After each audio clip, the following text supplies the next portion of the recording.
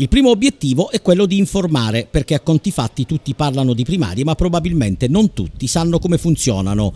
Insomma, i sostenitori di Pierluigi Bersani, segretario nazionale del PD e candidato alle primarie del centro-sinistra, a Margherita di Savoia hanno deciso di svolgere innanzitutto un'azione propedeutica, senza trascurare gli aspetti più strettamente politici di questa campagna elettorale. Noi come addetti ai lavori siamo troppo sicuri del nostro, c'è bisogno invece di contattare la gente, di informarla, perché purtroppo ci stiamo rendendo conto che la disinformazione è tanta, i messaggi che arrivano anche dai media arrivano in maniera distorta, bisogna dire alla gente innanzitutto che cosa sono le primarie.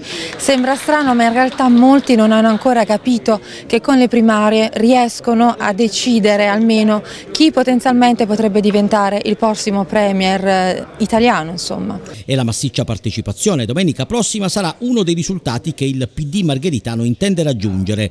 Lo ribadisce Antonella Cusmai, ex consigliere comunale, e presente alla manifestazione a sostegno di Bersani con i parlamentari Fioroni e Grassi e il consigliere regionale Ruggero Mennea. Io mi auguro intanto una discreta affluenza. Noi dobbiamo dire che Margherita di Savoia è stata sempre molto molto presente durante le competizioni per le primarie e ci aspettiamo qualche centinaia di presenze. Il perché alle primarie del centro-sinistra bisogna votare Bersani, la Cusmai lo ha ribadito anche durante l'incontro aperto dal segretario cittadino del partito, Angela Capacchione. Bersani è il segretario nazionale del Partito Democratico perché Bersani ha fatto un grandissimo passo indietro nel momento in cui ha consentito a Matteo Renzi e alla Puppato di careggiare per le primarie, perché non si dimentichi che lo statuto del Partito Democratico consente al segretario nazionale di diventare naturalmente il candidato premier. Quindi Bersani se avesse voluto applicare lo statuto, Renzi e la Pupato in questo momento